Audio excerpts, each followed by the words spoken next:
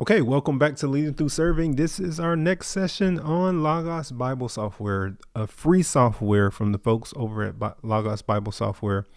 And many of you all have walked through these videos with me. This is a new video that walks through the next section here. So we've talked about documents. I'm not going to go over all the documents in that documents tab. I want to get to the guides and the workflows. This is a free training, so I'm not going to do too deep a dive in every section but here are some guides that you want to make sure you take heed of. So again, we're going to take whatever it is we want and um, open it. For the guides, you can't drag them necessarily until you open the actual guide workflow and you find the guide that you want. We're going to start with the passage guide. Let's go there. And so you take the passage guide, again, you slide it into this space and I have John 14, 6 here, but let's let's go Old Testament. I'm feeling a little Old Testament. And we're going to talk about some bitter water, I think. So let's go to the passage where the bitter water was made sweet. Hopefully you saw what I did there. And look, whenever you type in Exodus 15, they give you kind of the topic of what's in that passage. Um, the Song of Victory is in the first part of that, but I want to look at where the bitter water was made sweet. So uh, we're in that section now. So here's your passage guide. All these sections, some of them are grayed out because they're not part of the free software. So you can always go and edit your guide and take those out. So if you have important words and passages that you know you don't have with the free one, you can go in. I'm not going to take everything out right now, but you go in and take those out. And you, as you can see, they get removed. So you have journals here and you say, okay, I don't get any journals. I want to make my guide clean.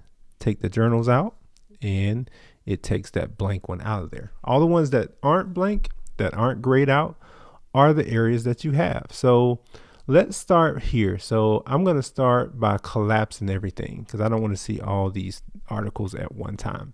And again, you can go back and um, take some of these grade ones out, grayed out ones out.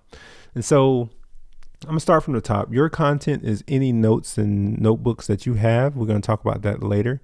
But it starts at top with commentaries. Commentaries are what um, scholars say about this passage. And so you have a couple of commentaries. One of them is called the um, Jamieson Fausset Brown. It's a uh, from 1997. It's a pretty good commentary. It's kind of technical, but it gives you some commentary around the passage that you're reading. And usually, when I have the passage guide open, um, here's another user tip for you. I want my Bible open alongside it. So I'm going to um, not drag it to the middle, but drag it to the right so that my Bible is right here on the right side of it. And here's another tip for you. If you link your commentary with your Bible, as you scroll down the passage, it's going to take you to each one of the verses that is in the commentary. How great is that? And so start with the commentaries. Um, Jamieson Fausset Brown is good. And then you also have the Faithlife Study Bible that's going to show you the um, some study notes on this particular passage. And so um, this passage in 1520 is about bitter water being made sweet. And we see it's happening in the wilderness of Shur. Well, where is the wilderness of Shur?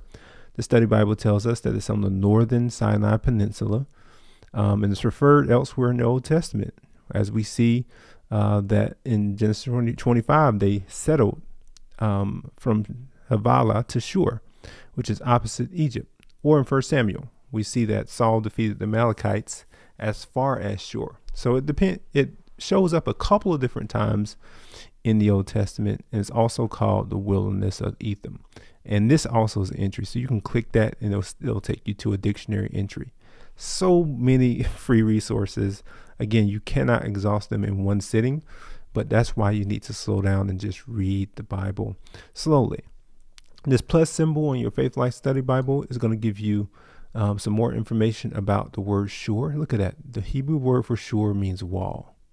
It likely refers to a fortification wall built by the Egyptians beyond the eastern delta as a means of defense. So we see that this idea of shur is, is a word that means wall. Again, the word mara here when they came to Marah, the crazy part, the ironic part about this particular passage is Marah actually means bitter. And these folks are about to get bitter because they're grumbling against Moses about what they should drink. So they're reflecting the name of the place. Names in the Bible are very important, y'all. I hope y'all understand that. And the only way you're going to understand the names in the Bible is to have resources like this. So, again, this is just the first section of your passage guide. Uh, Matthew Henry is an old commentary. I wouldn't suggest it for you. It just reads old, but if you want to open it, that's fine. As is this one. It's in 1560. That's 500 years ago. We're not reading that one. so stick with Jamieson Fausset Brown in the Faithlife Study Bible. I would say, as a beginner, start with the Faithlife Study Bible. You can also do it by era. So you can say, I want, I just want the new stuff. And that's going to be Faithlife Study Bible, right? Um, Jamieson Fausset Brown is a little bit older. So you can also uh, um, show, filter it by author denomination. I usually just use priority or era just so I can get some of the newer stuff. A couple other things I want to mention in this session as the passage guide is very important. So again, we just click that guides feature, open up the passage guide. It helps you to study any passage that you want. Uh, parallel passages is another uh, piece. If there was a parallel passage in the Bible that talked about this, then you would find that. Let's go to a uh, gospel account and see if we can find a parallel passage that shows in the gospel account. So I can show you that um, Matthew 7. Um, yeah, there we go.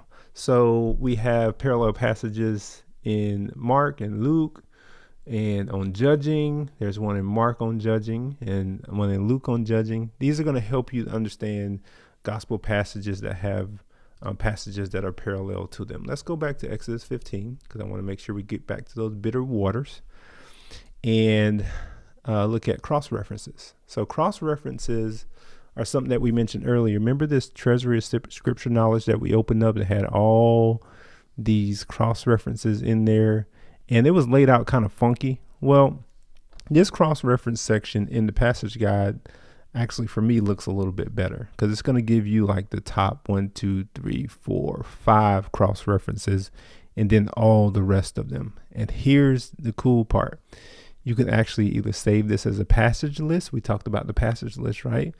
Or you can open them in your preferred Bible. So now all the passages that are cross references are in the Bible that you prefer, which I have as the ESV here.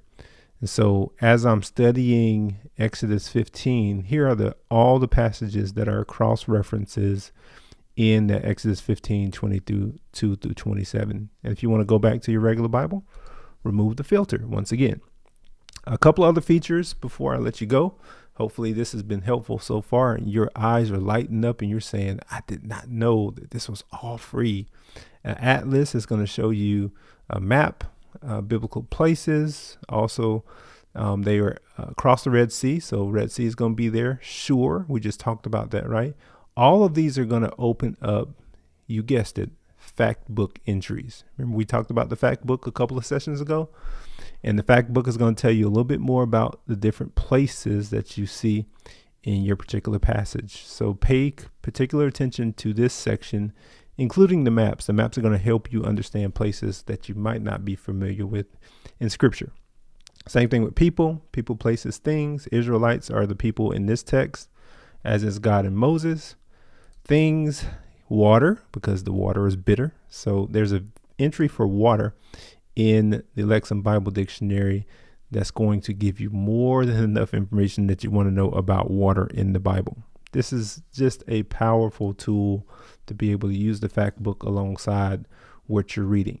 Uh, I don't want to get into sermons because y'all, some some of y'all may be preachers, but this isn't a preacher's training. This is for um, beginners. Thematic outlines different themes that show up. So disease, they're sick in the wilderness, right?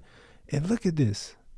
Whole passages on sickness in the Bible. So if you want to just do a study on sickness and you say, man, this would be a good study on sickness, how can I get all these passages? Logos says, I got you. See this little copy? Click that copy button and then you and it goes right into it just opened a new document in my text edit. But if you want to copy it to a passage list, use this drop down passage list, hit that copy button, and look at what happens. You get not only do you get the references, but you get all the headings from this thematic outline. So if you want to do a study on sickness and disease, look at this sickness all throughout the Bible, disease throughout the Bible. This is a game changer. You hear me? Uh, topics, gonna have some topics. So this is gonna show like kind of a cloud or tag tree that shows you um, topics based on the importance of the topic. So wilderness and murmuring and wandering are important topics here, right? Uh, I don't do music, uh, media resources, none of that stuff really is that great. As a matter of fact, I would probably recommend that you remove everything from topics down so that your passage guide does not um, get too expansive. And if you've been expanding stuff like I have and you say, man, I just want to collapse everything, right click anywhere, hit collapse all. It's going to take you right back to your clean screen here. And that is the passage guide. Goodness gracious, from everything from commentaries to parallel passages to cross references to people, places, things. If you want to open up a passage, start studying that passage, this is a good starting point for you. Have a Bible on one side, have your passage guide on the other, and dig into the text. You will not regret it.